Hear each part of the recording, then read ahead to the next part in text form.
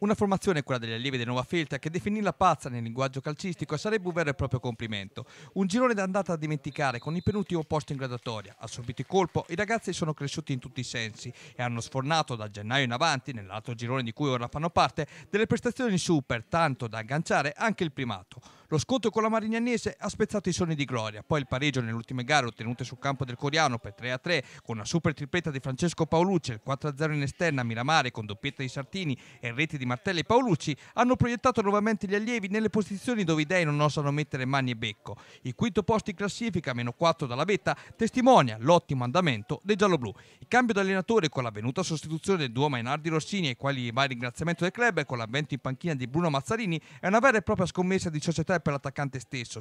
Al comunale di Secchiano arriva la sesta della classe colonnella che vanta la miglior difesa del torneo con sole 13 reti incassate, di fronte Innova Feta che ha dalla sua il maggior potenziale offensivo del campionato con 43 gol all'attivo. Potenziale che viene messo subito in scena dal trainer Mazzarini che vede subito premiati i propri sforzi.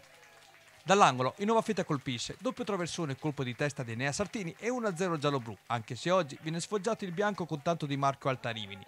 Innova Feltia è devastante, gioca in scioltezza e penetra in aria facilmente. Qui Paolucci viene prima murato, poi l'attaccante stesso alza la mira.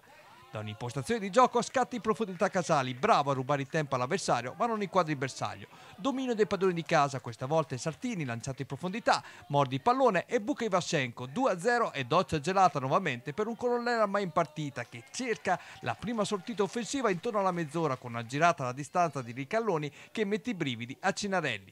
Pula dall'altra parte non vuole essere da meno, ma non incide. Sartini in versione assistman suggerisce al centro, ma Martelli sfiora così la marcatura. Paolucci invece con una progressione devastante sulla sinistra sforna al centro un invitante assist al bacio al quale Sartini non desiste rispondendo presente mangiando il pallone come un ovetto di Pasqua e gettando in rete la sfera del 3-0. Nella ripresa lo scenario non cambia, Paolucci viene neutralizzato da Ivascenko, ancora una volta Paolucci protagonista ma centra il legno con Zavatta che allontana il pericolo.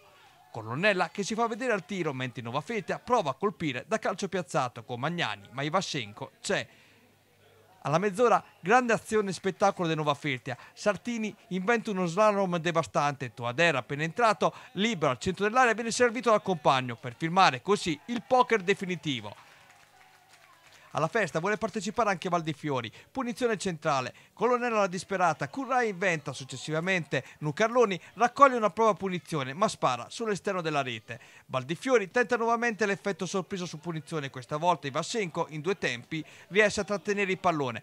Currai mette alla prova invece dall'altra parte i riflessi di Massella che respinge da terra e sempre da terra allontana il pericolo con uno sbalzo da felino. E ora Ivan Ricci, responsabile del settore giovanile, può finalmente respirare. La mission è compiuta, mentre da madre a padre la passione per il piccolo figlio Leo non muta. Guarda con occhi attenti i piccoli campioni, sognando un giorno di essere anche lui lì a festeggiare, toccando con mano quella vetta dove gli dei non usano mettere né mani né becco.